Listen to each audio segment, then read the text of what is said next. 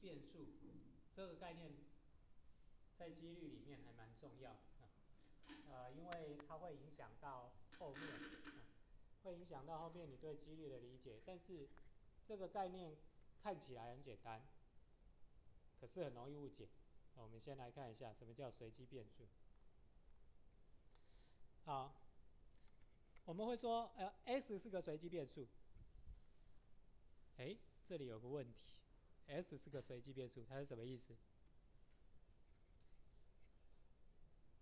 我们会常常会写 P of X，它又是什么意思？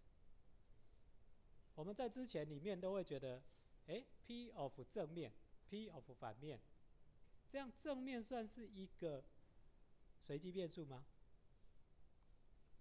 答案不是，随机变数不是这个样子啊。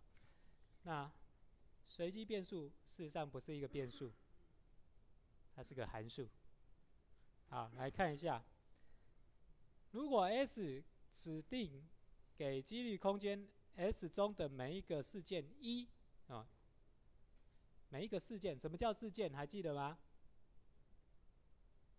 蛀牙是事件，是。很多东西都是事件，但是数学上的定义，一个事件是什么东西呢？样本空间如果是 S，它里面的一个什么东西叫事件？一个子集合，对吧？啊，样本空间的一个子集合叫做事件。啊，如果你出现的东西是在这个集合里面，这个子集合里面，那就说 OK，这个事件发生了。如果说呃没有在这个子集合里面，他说哦这个事件没发生。OK，所以它其实是把样本空间里面每一个子集合都对应到一个实数。好，那针对每一个子集合呢，对应到一个实数啊，这个 S 就称为是随机变数。OK。好，那接下来我们来看一个例子啊，随机变数，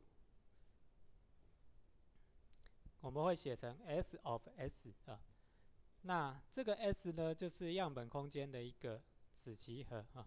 那有时候我们如果 S 是单一元素的话啊，那我们就会把那个集合的大括号拿掉，啊，就就代表它是单一元素的集合。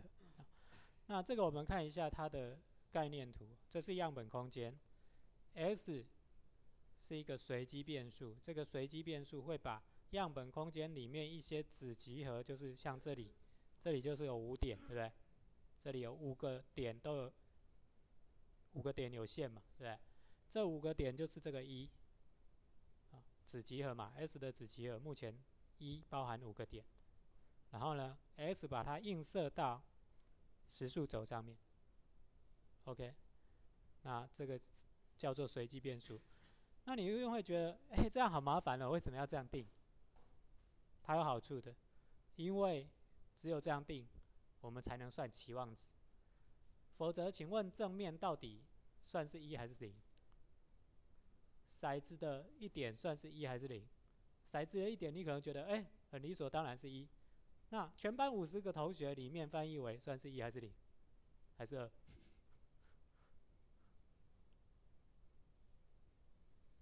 对啊，呃，所以这里就会有问题。所以你最后一定要把它映射到一个数值，最后我们才能算出说 OK 有什么期望值。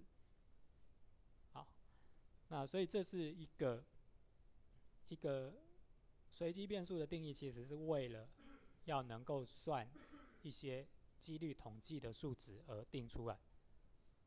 好，那为了要算几率统计的数值而定出来，来我们看一个例子，又再看到铜板，铜板出现正面或反面的时候呢，样本空间 S 要么是正面，要么是反面，就是这个是整个集合就只有两个元素了，对，好，如果是公平的铜板呢？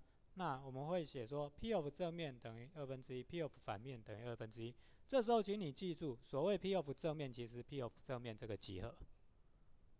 哦，外面其实通常还要加个集合，只是为了简单起见，我们省略。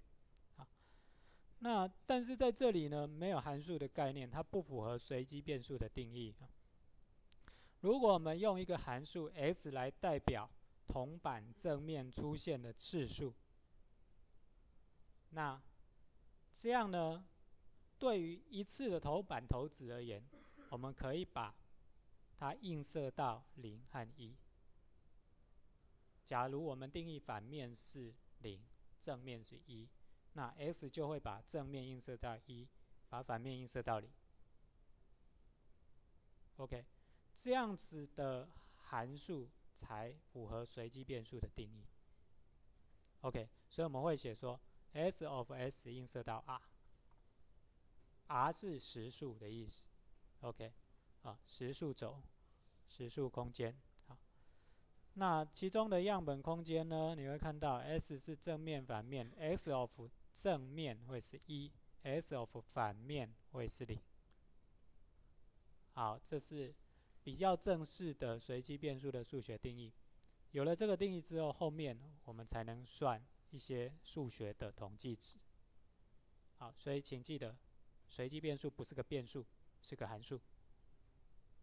好，这一点很重要啊。我们先休息一下。